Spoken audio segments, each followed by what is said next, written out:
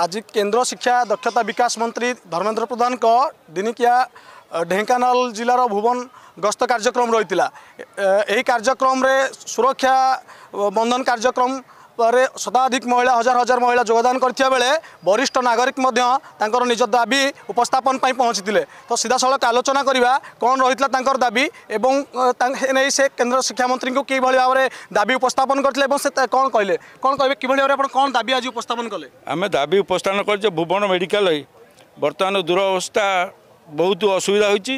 ତେଣୁ ଆମେ ଗୋଟିଏ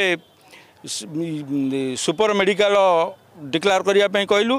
ଆଉ ମଧ୍ୟ ବହୁତ ଦିନ ତଳୁ ଫୋର୍ଥ ଗ୍ରେଡ଼ଙ୍କର କ୍ୱାର୍ଟର ଯିଏକି ଅଦ୍ୟବଧି ନଅ ଦଶରେ ସାଙ୍କସନ୍ ହୋଇଥିଲା ଅନେଶତ ଲକ୍ଷ ନବେ ଲକ୍ଷ ନବେ ହଜାର। ତେଣୁ ସେ ଘର ବର୍ତ୍ତମାନ ଭୂତକୋଠି ପାଲଟିଛି ସେଠି ଅନୈତିକ କାମ ଚାଲିଲା। ତିନି ତିନି ଥର କଲେକ୍ଟର ମହାଶୟଙ୍କୁ ଆମେ ମଧ୍ୟ ତାର ଦାବିପତ୍ର ଦେଇଥିଲୁ ଗିଭାନ୍ ସେଲ୍ରେ ଭେଟିଥିଲୁ। ସିଏ ତାପରେ ସାଙ୍କସନ୍ କରି କହିଲେ ଯେ ଆମେ ଚାରି ଲକ୍ଷ ଟଙ୍କାରେ କାମ ହେଇଗଲେ ହେଇଯିବ। ସେ ଚାରି ଲକ୍ଷ ଟଙ୍କା କିଏ ଖାଇଲା?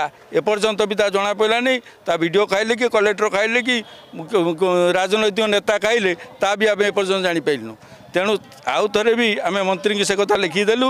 ଆଉ ସୁପର ମେଡ଼ିକାଲ ଡିକ୍ଲାର ପାଇଁ ବି ସେ କହିଲେ ନିହାତି ପ୍ରକାର ଆମେ କରିବୁ। ଆଉ ମଧ୍ୟ ଗୋଟେ ଜିନିଷ ଦେଇଛୁ ଏଠି ଗୋଟେ କେନ୍ଦ୍ରୀୟ ବିଦ୍ୟାଳୟ ହେବା ପାଇଁ ମନ୍ତ୍ରୀଙ୍କୁ ମଧ୍ୟ ଦାବି ରଖିଛୁ। ଜନ ଆମେ ବରିଷ୍ଠ ନାଗରିକ ଜନସ୍ୱାସ୍ଥ୍ୟ ସୁରକ୍ଷା ଟ୍ରଷ୍ଟ ପକ୍ଷରୁ। ସେ କହିଲେ ଏଇଟା ମୁଁ ଦେଖିକିରି କରିବି ସବୁ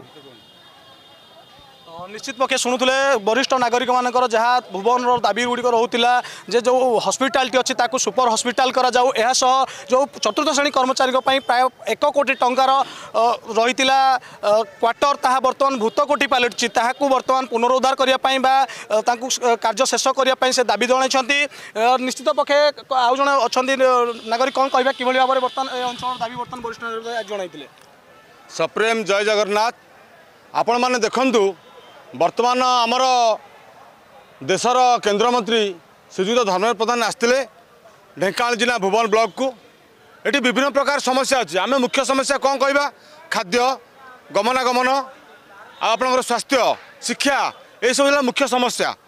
ଆପଣ ଦେଖନ୍ତୁ ଦୀର୍ଘ ବର୍ଷ ହେଲା ବିଜେଡ଼ି ସରକାର ଏଠି ଶାସନ କରୁଛି ଭୁବନ ଅଞ୍ଚଳରେ ଓଡ଼ିଶାରେ।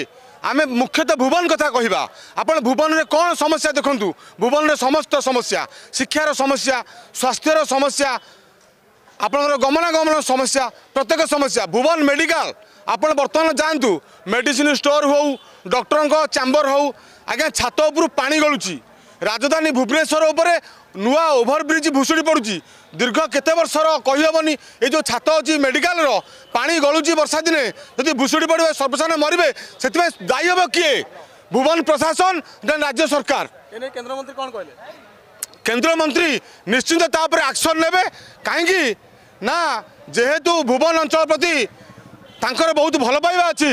ସେ ନିଶ୍ଚିନ୍ତ ରାଜ୍ୟ ସରକାରଙ୍କୁ ଏ ଯେ ପଦବୀରେ ଯିଏ ଅଛନ୍ତି ଭୁବନ ଅଞ୍ଚଳର ସୁବିଧା କରିପାରିବେ ତାଙ୍କୁ ନିଶ୍ଚୟ ସିଏ କହିବେ ଏବଂ ଆଗାମୀ ଦିନରେ ନିଶ୍ଚୟ ମୁଁ ଆଜି ଇଲେକ୍ଟ୍ରୋନିକ୍ସ ମିଡ଼ିଆ ମାଧ୍ୟମରେ ସାରା ରାଜ୍ୟକୁ ଓନ୍ଲି ଭୁବନ ନୁହଁ ସମସ୍ତ ରାଜ୍ୟକୁ ଜଣାଇବାକୁ ଚାହୁଁଛି ଯେ ଆପଣମାନେ ଏ ଯେଉଁ କେନ୍ଦ୍ର ସରକାର ଅଛି ବିଜେପି ସରକାର ଡବଲ ଇଞ୍ଜିନ୍ ସରକାର ଆଣନ୍ତୁ ଡବଲ ଇଞ୍ଜିନ୍ ସରକାର ଆସିଲେ ଆପଣଙ୍କର ସମସ୍ୟା ନିଶ୍ଚିନ୍ତ ସୁବିଧା ହେବ। ଗୋଟିଏ ଛୋଟିଆ କଥା କହିବି ଆପଣ ଭୁବନ ଏତେ ବଡ଼ ଗାଁ ଏସିଆ ମହାଦେଶରେ ତା'ର ରେକର୍ଡ଼ ଅଛି।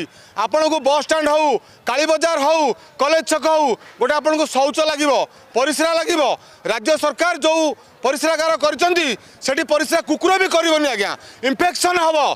ତହସିଲଦାର ଯେଉଁମାନେ ପଦପଦବୀରେ ଅଛନ୍ତି ଭୁବନ ବ୍ଲକ ସ୍ତରୀୟ ସରକାର ପଦାଧିକାରୀ ସେମାନଙ୍କୁ ଡାକନ୍ତୁ ସେମାନେ ପରିସ୍ରା କରିବେ ସେ କରିବେ ନାହିଁ ଏ ସର୍ବସାଧାରଣ କରିବେ ଲୋକ ସଚେତନ ହେଇସାରିଲେଣି ଜନଜାଗ୍ରତ ହେଇସାରିଲାଣି ନିଶ୍ଚିନ୍ତ ପରିବର୍ତ୍ତନ ଦୁଇ ହଜାର ଚବିଶରେ ବିଜେପି ସରକାର নিশ্চিত পক্ষে শুণুলে কেন্দ্র শিক্ষামন্ত্রী ধর্মেন্দ্র প্রধান আজ যে কার্যক্রম ভুবন কার্যক্রম রয়েছে নিশ্চিত পক্ষে বিভিন্ন সমস্যা নেই বুদ্ধিজীবী কুহতু কিংবা বরিষ্ঠ নাগরিক কুহতু সমস্তে নিজের দাবি উপস্থাপন করেছেন এবং দৃঢ় প্রতিশ্রুতি কেন্দ্র শিক্ষামন্ত্রী ধর্মেন্দ্র প্রধান দিয়েছেন বলে সে সিধাসলখ প্রতিক্রিয়া রাখুন ঢেঙ্কানাল ভুবন সুরেকান্ত বেহরা পর্যং সুরেকান্ত বেহরা অর্গস নিউজ